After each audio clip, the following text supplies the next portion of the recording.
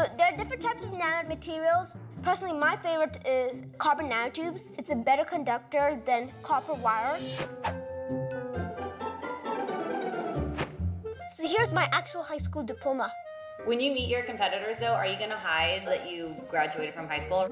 Why should I keep it a secret? It's already like almost everybody knows it. Yeah, since I just graduated from high school, um, um, President Obama sent me a letter.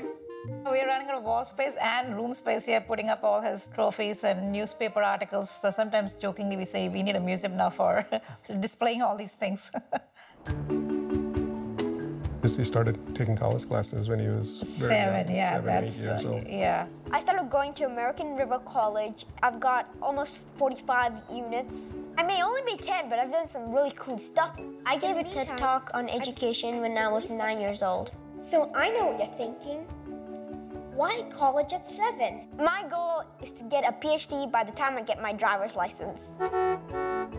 We get all these calls from people. I'm just trying to put them into the calendar here. We have one from ABC, oh, Ellen DeGeneres, and who else? NBC call. We probably have to go to a studio, like just like how we did for CNN and Okay. for other shows. Watching Tanishq compete in this competition is going to be nerve-wracking. Why should I be scared of 8 to 12 year olds? They're like in my age range, it's not like it's like 20 year olds. And even then, I've been in college, so